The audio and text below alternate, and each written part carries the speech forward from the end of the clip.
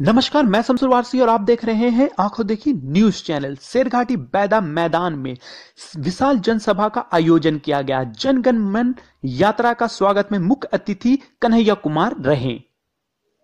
लोगों ने उनका स्वागत किया।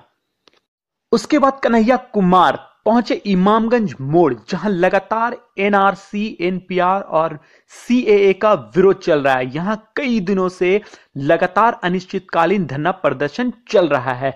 उसी अनिश्चितकालीन धरना प्रदर्शन में कन्हैया कुमार पहुँचे और लोगों को एनआरसी सीएए एनपीआर के बारे में विस्तार से बताया। लोगों का हुजूम उमड़ा, लोग अधिक संख्या में वहाँ पर दिखाई दिए।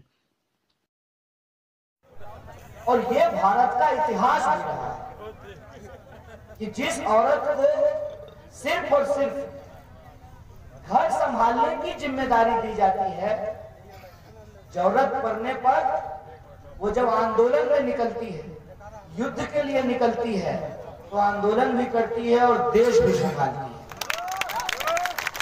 आपको सुनकर के आश्चर्य होगा कि अमेरिका में आज इतना एडवांस देश है। अमेरिका में आज तक कोई महिला राष्ट्रपति नहीं हुई।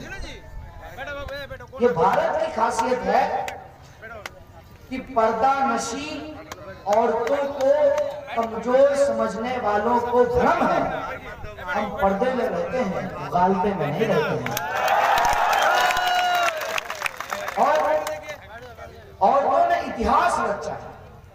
जब ज़रूरत पड़ी तो रजिया सुल्तान भी हुई इस देश में और रानी लक्ष्मीबाई भी हुई है इस देश में।